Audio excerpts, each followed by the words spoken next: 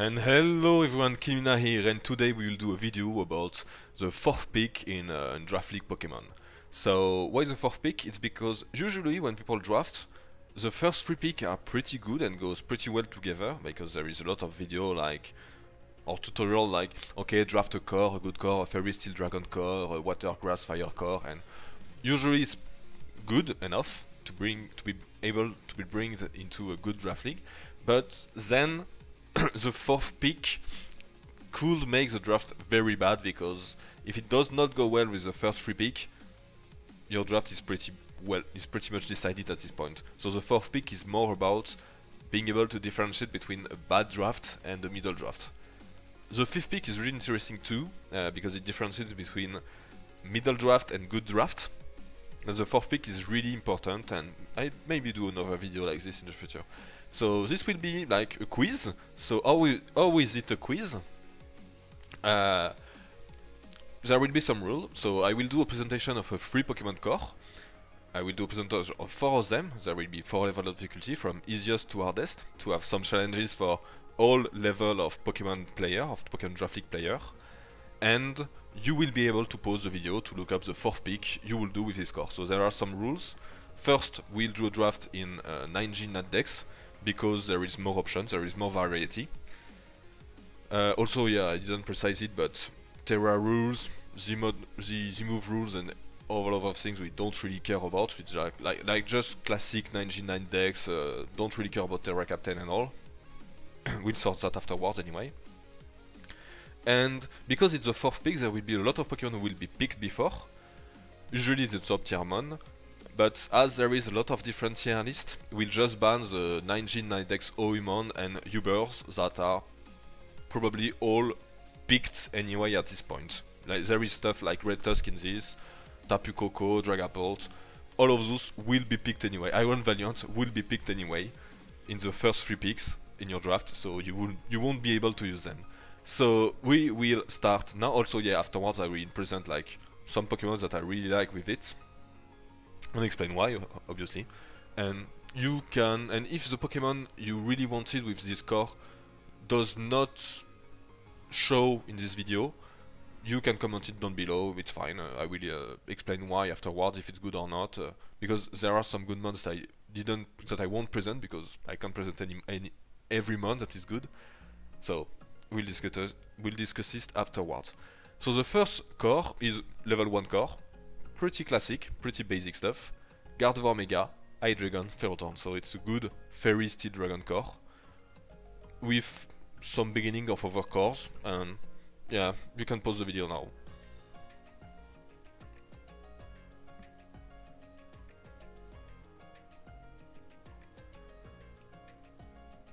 Okay, so we're back. So this core is pretty simple because it's level 1, so anyone can guess what type of one you will bring. And the most obvious will be a strong physically offensive fighting type. so why? It's because you already have a Fairy Steel Dragon core. And you have a beginning of Psychic Dark Fighting core. Which is really interesting. Yeah, sorry, I was looking up something. So really interesting. And fighting type here is really good. So here I will pick Quaquaval. Uh, why Quaquaval specifically? Because first, it brings another core that you will that you could do in the fifth pick. So Fire, Water, Grass.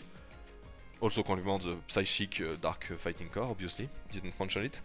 And it's a good mon that has a lot of utility in this draft. So Rapid Spin with Ferrothorn complement it very well. Is very good because you can just Pike Hazard and Rocks uh, U-turn is very good with Hydreigon, with Gardevoir Mega.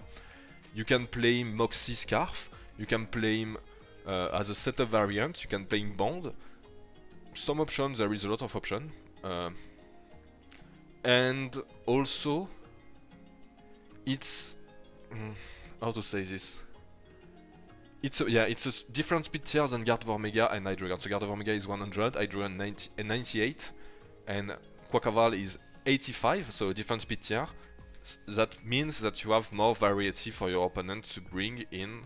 Uh, well, not exactly variety, but more. Uh, your opponent needs to build uh, around this speed tier and will not be able to bring a lot of things. For example, you won't bring a Jirachi Modest here because you have Quaquaval. You will bring a Jirachi Timid if you bring a Speedy Jirachi. Two mons that can be great here is first Buzzwole. So why Buzzwole? Because pretty much the same thing as Quaquaval, except Rapid Spin, but it's good here due to Ferrothorn. So Ferrothorn is a grass type that is not weak to Earthquake, but doesn't resist ground move, and Buzzwole resists Earthquake, and you want a good Earthquake resist. You can get later on a Flying type, or uh, you already have a Levitate, I mean, and you can get afterwards a Flying type, but with Ferrothorn, generally you want like a good Bug type to uh, switch into the ground move. And Buzzwole is overall very good too. And Infernape, same thing, can be played bond. Infernape here is valued for its versatility, because you can also play him specially offensive.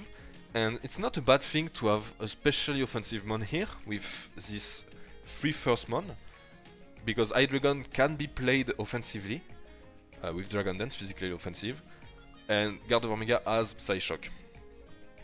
So yeah, also uh, also Infernape brings two other stuff. First, Fire type for the Fire Water Grass core, with like a bulky water afterwards. And uh, another rocker, so you will have three good Stealth Rock option, which is pretty strong. Some other mon I could think about is Crobat. Uh, Crobat is also very good here because of its speed tier.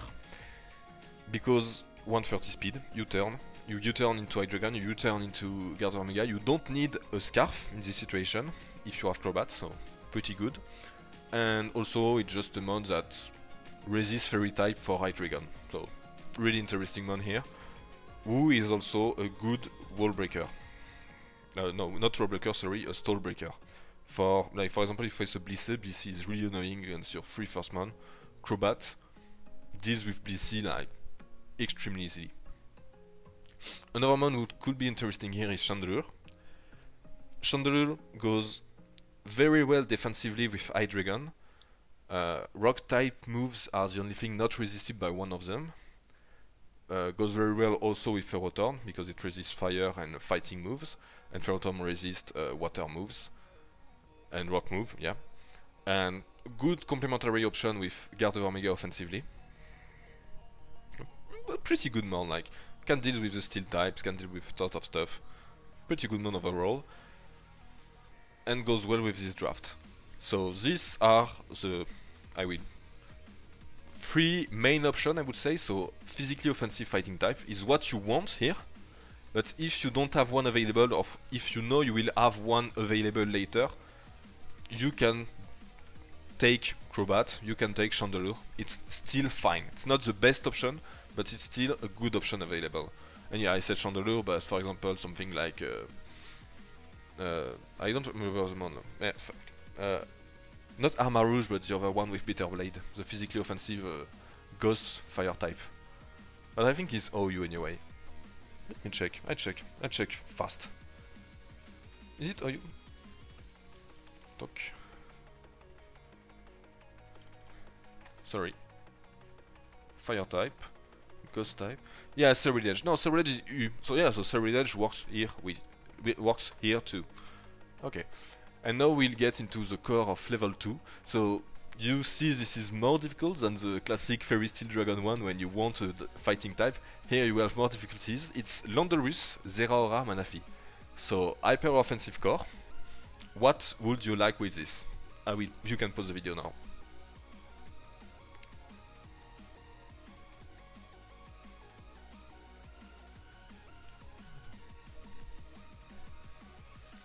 Okay, we're back. And yeah, this is an extremely hyper-offensive core.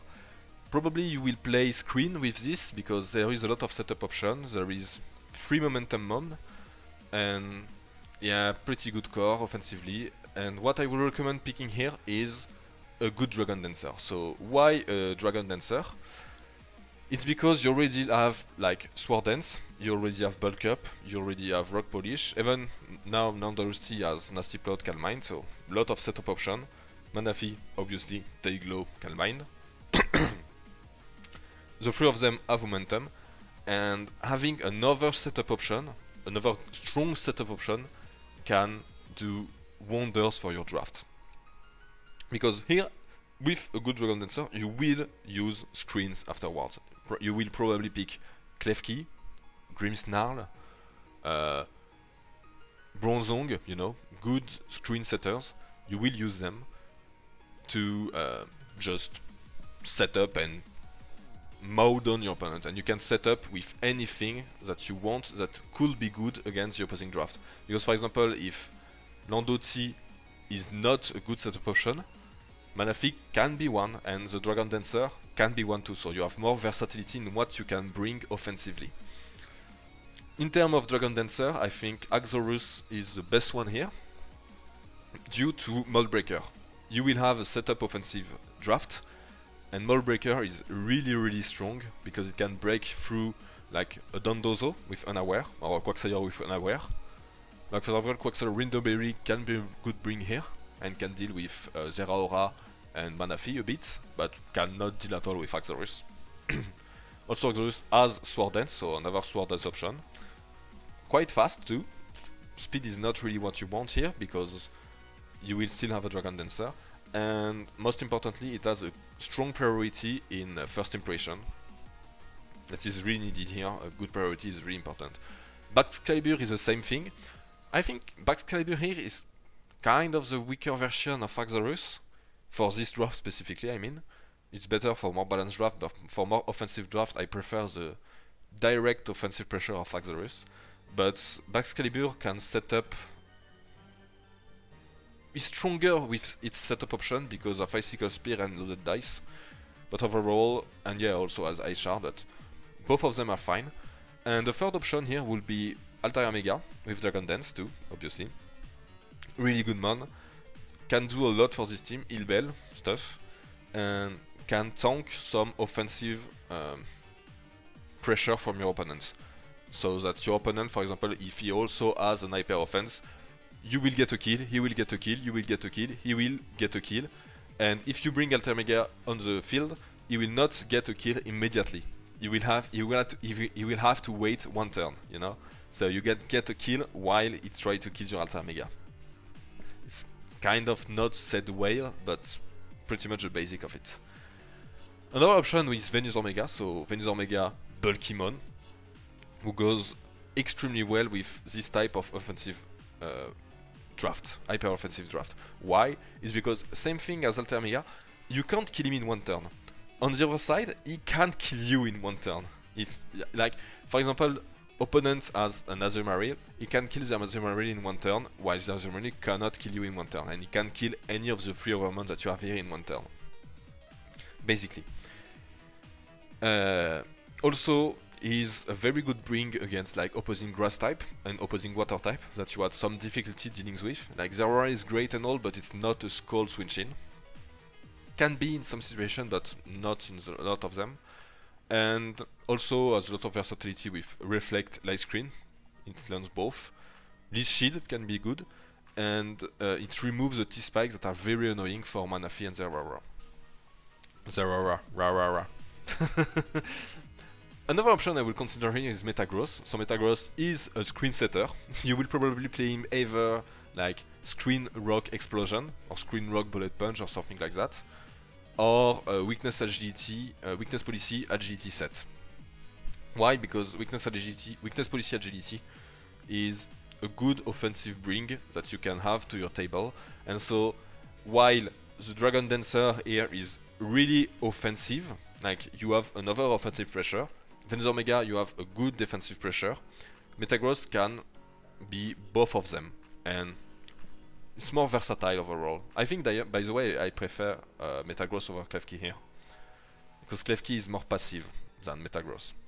So this is for the core level 2, a bit more complex. Like we here we didn't care at all about uh, the classic typing core, you know. We cared about what you want in your draft. And now we will talk about the core level 3, which is Garchomp, Gholdengo, Toxapex. And don't worry, maybe you see something, but this is level 3 for a reason. so this is an extremely strong core in 9G, I think. I drafted it once, I tried to draft it, but after a while I switched it for something else, but won't explain more, but really good core. Uh, Gholdengo removes Hazard, Toxapex is the best Toxic Spikes setter, uh, Garchomp is really good uh, rock and spikes user now, really good offensive presence, really good core, but now you can pause the video.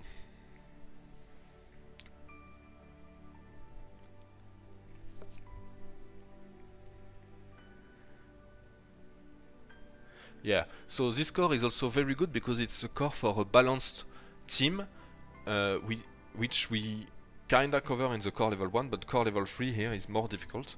And there is a trap, that's why it's level 3. You see Garchomp Gholdengo, so Dragon Steel type. You think you will want a Fairy type, but no, you do not want to pick to pick your Fairy type here. Maybe I will explain why later. Uh, no, I will explain some example you could pick, but you do not want to pick it. The thing you will want to pick here is something like a Zapdos Galar. Why? Because you have Gholdengo plus Toxapex. So with these two mon, the opposing fairy type.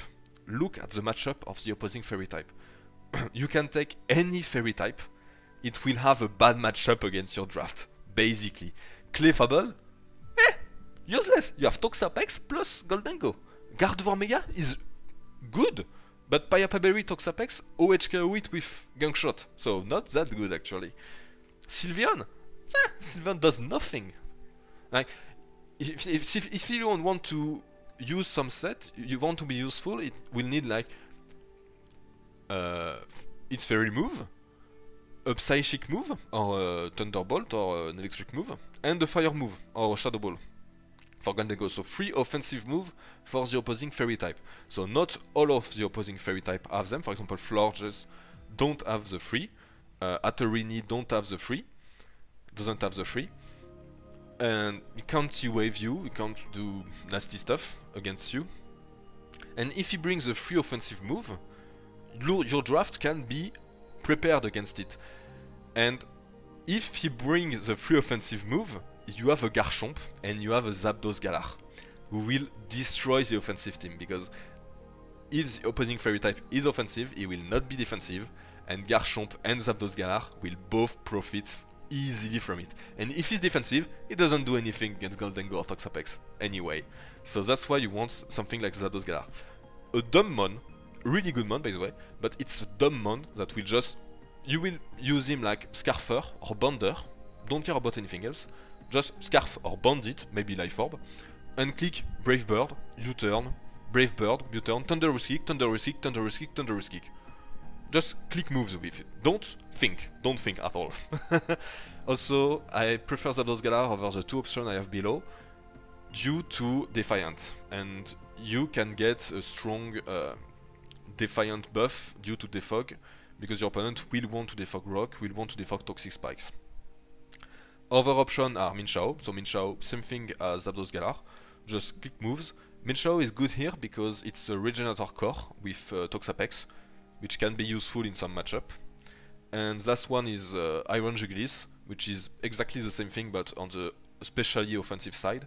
You just click Dark Pulse, Dark Pulse, Dark Pulse, Dark Pulse, Dark Pulse, and you turn sometime. So you will install a lot of pressure on the opposing fairy type. And you can exploit this weakness with your draft. That's why it's a level 3 core, because exploiting during the draft process the potential weakness of your opposing team, of your opposing draft, is really difficult. And that's why taking a fairy type here is a trap. Another mon I will bring here is Celebi. Celebi, why? Because it's one of the mons that is very versatile but very weak to U-turn. So Celebi, Zarude works. Uh, also, they are resistant to the ground type move that you are that you have for now no answer to because Toxapex and Gholdengo are weak to weak. So Celebi is a good bring. U-turn same thing. Setup via uh, versatility. Really good versatile mon. You want him in this draft. It's good. Also another set uh, stealth rocker, I said it, yeah, sorry. Lastly, well, obviously, a fairy type is still good. I will not recommend it, but it's still good. And the only fairy type I would recommend picking here is Togekiss. There is also Enamorus and Enamorus for those who play with them. But otherwise just pick a low tier fairy type. It's okay, it's okay. You have answer, you will have answer to the opposing dragon type anyway, it's okay. But why? It's because if you look at the other fairy type, well, Clefable is good, but it will probably be, pick, be picked. Grimmsnarl is not that good here, Ninetales is not that good, Primarina is not good because you already have Toxapex, uh, Gardevoir Mega will be picked, so I don't think about it.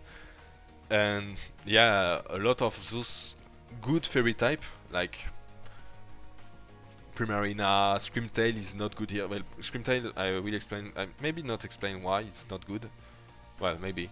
It's because Screamtail is not good because you do not want uh, Gholdengo is because yeah overall Gholdengo is weak to Shadow Ball and weak to um, uh, Dark Pulse and if you want a fairy type you want a fairy type that resists Dark Pulse and Shadow Ball for Gholdengo which Screamtail does not do so that's why you don't want Screamtail by the way and also you don't want Gardevoir Mega sorry. Tapu Bulu could be a bring but not that good. I wouldn't say it's a good bring here so that's why the only option is Togekiss or Enamorus a flying type, very versatile, kinda good mon, but yeah, just take like a Dachsbun or uh, Slurpuff or you know a low tier fairy type or Whimsicott. Whimsicott is really good here. Weezing Galar, no, not Weezing Galar, no, sorry. I'm looking at the team builder at the same time, you know, the tier list. Not the tier list, but what fairy type of Yeah, Comfey is good. Diancie is good. Yeah, just pick a low tier fairy type, it's fine. Don't pick a high one. Pick uh, pick a Zapdos Galar. Basically, pick a strong wall breaker. Last score, so this score is level 4. There is a reason for it. It's very difficult to do a good draft with it. I explain a bit, it's Lopunny Mega, Thundurus Incarnate and Volcarona. So Fremon with momentum, Fremon with uh, Power Up Punch, Nasty Plot and Quiver Dance, so with setup option. Fremon's really fast, so it's a fast offensive draft. It's not an hyper offense draft. don't be fooled. You don't want to have this against you. it's really, really strong, but it's also really, really hard to do a draft around them, and I've seen a lot of people failed, fail this. So you can pause the video now, we will discuss it later.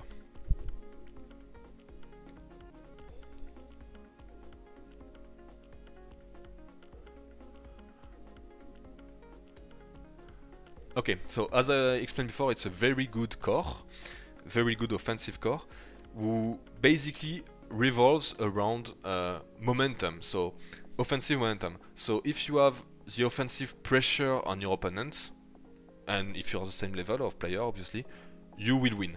If you lose at some point during the game the offensive pressure, you will probably lose the game. So this core, you want to have good momentum option. And what I would recommend here is Orthworm. So why Orthworm? First, it's a steel type with momentum. You see the other two options I have below, so Jirachi Iron Treads also have momentum and are also steel type. why steel type? It's because you don't really need a lot more offensive pressure, you already have them in the three months we have here, and you do not want to go for an hyper offense. And so you will want a mon that is more defensively focused. Orthworm and any steel type is good in this category because it can tank a lot of it, like for example fairy type, rock move, uh, grass move, you know, a lot of stuff, a lot of different stuff. Steel type are known for this. And Orthworm, its momentum move is Shed Tail, who goes very well, extremely well by the way, with Volcarona and Thundurus. Volcarona behind the Shed Tail is extremely strong. I won't lie. Uh, by the way, if Orthworm doesn't have uh, Shed Tail in your draft, don't pick it, ever. You want momentum, you want Bulkymon who have momentum. Also Steel type because most of the times I have rocks, so you can set up rocks and then bring back the momentum, the offensive momentum. Rocks are really important here because you do not want the opponent to have a sash or a sturdy mon active. Uh, so you want to break up this sash, these potential sashes. The other option are Jirachi, so Jirachi also very good. quite fast too. It's not really that slow, but it's more about keeping momentum. You can play him Scarf too, by the way, it's really good here. And as Healing Wish to bring back like Volcarona or Lopunny Mega or Thundurus to the field. Iron Treads, kind of the same thing. Steel type, with rocks, with momentum. Can tank some hits. It's good, it's good. you want this type of mon with these three mon, with these three first mon, you want a mon that will take some hits and bring back momentum afterwards. Another option here would be like Slowking Galar. So Slowking Galar is really good because Shielding Snow, because teleport. So strong defensive uh, momentum, uh, so strong slow momentum to bring back like Thundurus E with uh, Volt Switch or Open Mega with U-turn or stuff like that. And also Toxic Spike Remover. You really need one. And I think Slowking Galar does the best at this job. Toxic Spikes because of Volcarona, because of Open Mega, because if you don't have Toxic Spikes on the field, uh, you don't need to have Volcarona boots, and Volcarona no boots is so much stronger than Volcarona boots. And yeah, it doesn't resist everything that is resisted by the steel type. So for example, it resists fairy move, but it doesn't resist rock types. But it resists other things on the other side, like for example, fighting move. Well, you don't really need a fighting move resist, but still can be useful sometimes. Last option is uh, Primarina. So exactly the same stuff. Bulky Mon, can tank some hits. Uh, flip turn, so momentum. Here it's kind of slow momentum and has an offensive pressure, an offensive presence. That's all you want. You only want Mon who have momentum. Mon who have momentum are needed. Primarina here does not resist like fairy type move, but resists water move, so kinda good too. And uh, yeah, if by the way, if you manage to do a good draft with these three, send send me it. I will see, but it's really hard to do. So good luck, good luck, and yeah. So this is the end of the video. Uh, I hope you liked it. Also, yeah, the fourth pick here for uh, the core of Zygarde, Bulu, Heatran is Tentacruel. It's been scientifically proven that Tentacruel is the best fourth pick here. Don't argue. and yeah, if you had any different opinion or different stuff uh, you would like to say, say it in the comment down below. We'll discuss it. Uh, and uh, yeah, I hope to see you for another vid sometimes and bye, it was Kilimina, bye.